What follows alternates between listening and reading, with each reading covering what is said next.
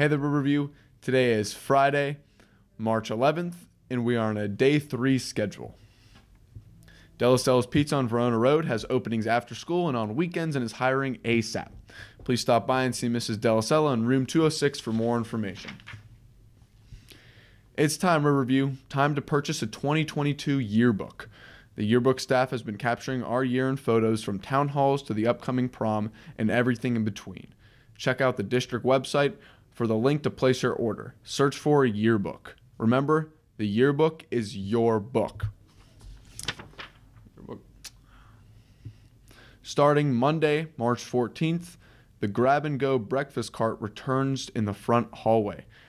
There will no longer be AM breakfast in the cafeteria, and second chance breakfast will be available for study halls only, periods 1, 2, and 3. Our Super Bowl food drive has been extended to Wednesday, March 23rd. I'll say that again. The, the Super Bowl food drive has been extended to Wednesday, March 23rd. Job opportunity. Model Cleaners at 333 Allegheny Avenue in Oakmont is seeking one or two high school students at least 16 years of age to hire for customer service positions at their business. The hours are usually 3 o'clock to 6 o'clock, with some hours on Saturdays, and the hourly rate is $12. If interested, you can apply at their website, modelcleaners.com. Attention, all students. For anybody interested, golf signups are up now outside of room 2010. You could talk to Mr. Beal for more information.